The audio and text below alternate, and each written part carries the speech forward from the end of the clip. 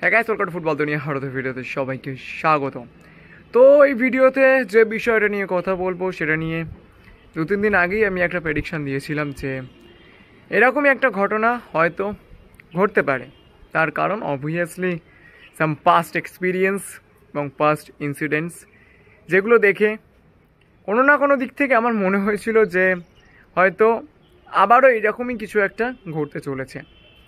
তো সেই রকমটাই কিন্তু ইতিমধ্যেই ঘটে গিয়েছে ইস্ট বেঙ্গল ক্লাবে দীর্ঘদিনের খারাপ পারফরমেন্স এবং ইস্ট বেঙ্গল কোচ স্টিফেন কনস্ট্যান্টাইনের খামখেয়ালিপনা, এগারোটা হার এবার রায়সেলে, সব মিলিয়ে ভীষণ খারাপ একটা পরিস্থিতি এই মুহূর্তে ইস্ট বেঙ্গল ক্লাবে তো গত দুটো সিজন যেটা হয়েছিল, যখনই এরকম খারাপ পারফরমেন্স টিম করতে থাকছিল সেই সময় ইস্ট বেঙ্গল ক্লাব অফিসিয়ালসরা তাদের আঙুলটা তুলে দিয়েছিলেন ইনভেস্টরের দিকে।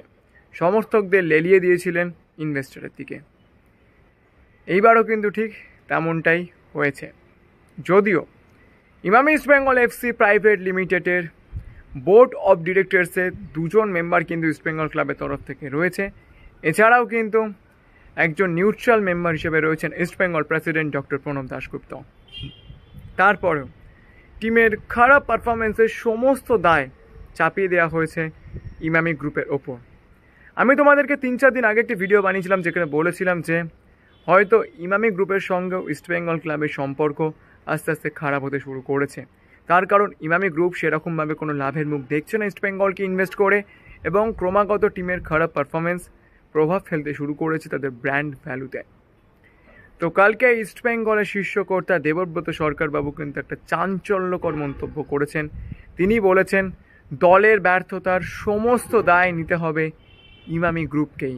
তার কারণ হিসেবে তিনি যেটা বলেছেন, টিমটা তৈরি করেছে ইমামি গ্রুপই। তারা মাত্র ছজন ফুটবলারকে এই টিমের জন্য সাইন করিয়েছেন এবং সেই মাত্র ছজন ফুটবলারকেই তারা রেকমেন্ড করেছে দলে নেওয়ার জন্য। Even East Bengal coach Stephen কনস্ট্যান্টাইনকে recruitment করা নিয়েও কিন্তু ঘোরতর আপত্তি ছিল।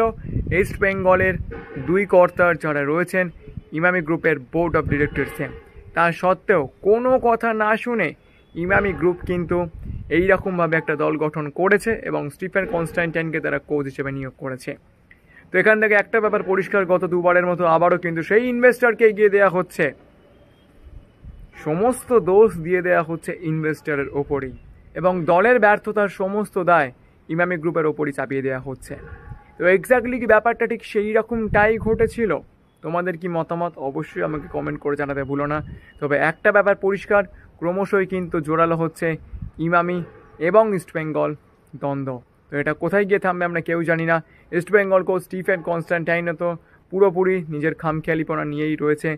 তিনি কারুর কথা শুনবেন না, নিজের ইগো নিয়ে থাকবেন। সব মিলিয়ে একটা ঘোরতর, জটিল পরিস্থিতি তৈরি হতে শুরু করেছে ইস্টবেঙ্গল ক্লাবে আবারও কি নতুন ইনভেস্টরের খোঁজ করতে হবে? সেইটা হয়তো সময় বলে দেবে। যাই হোক, চলো, এখন আমাদের ভিডিওটা এই পর্যন্ত ছিল। যদি ভিডিওটা ভালো লাগে, তাহলে লাইক করে দিও। আর মনে করি কিন্তু আমার চ্যানেলকে সাবস্ক্রাইব করতে ভুলো না। কারণ তোমরা জানি ফুটবল নিয়মিত সঠিক তথ্য সবার আগে পেতে গেলে তোমাদের কিন্তু ফুটবল দুনিয়া চ্যানেলে আসতেই হবে। আর পাশে থাকা বেলাইকনটা মনে করে অল করে রেখো, যাতে আমরা ভিডিও পোস্ট করি। সঙ্গে সঙ্গে তোমার নোটিফিকেশন চলে যায়। আর তোমরা যারা যারা আমার সঙ্গে ডাইরেক্টলি কথা বলতে চাও পার্সোনাল ফেসবুক অ্যাকাউন্ট সঙ্গে আমাদের ফেসবুক গ্রুপের লিঙ্ক দুটো ডিসক্রিপশন বক্সে রয়েছে। সেখান থেকে তোমরা আমাকে ফলো করে নিতে পারো। তো চলো, এখন আমাদের এই পর্যন্ত দেখা হচ্ছে। পরে ভিডিওতে